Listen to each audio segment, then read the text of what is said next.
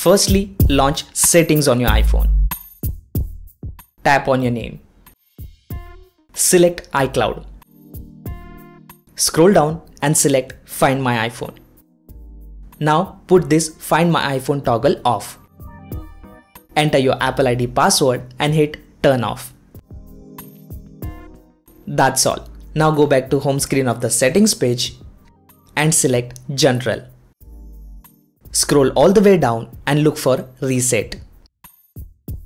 Now hit Erase all content and settings.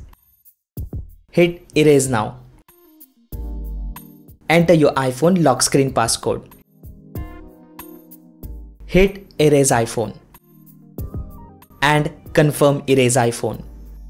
That's all. This will erase your iPhone to factory settings. Now wait, don't sell your iPhone right now.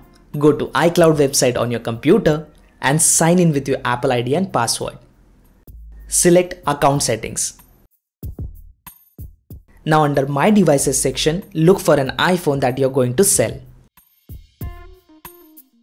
Now tap on this X button and hit remove. That's all. Now this iPhone is completely removed from your Apple ID. And finally, your iPhone is ready to sell.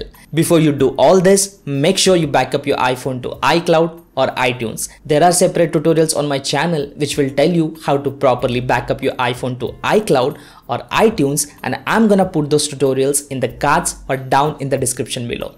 And before selling your iPhone, if you have any specific questions, ask me down in the comments below. And that's all for today. I hope you guys found this video useful. Stay tuned and I'll see you guys in the next one.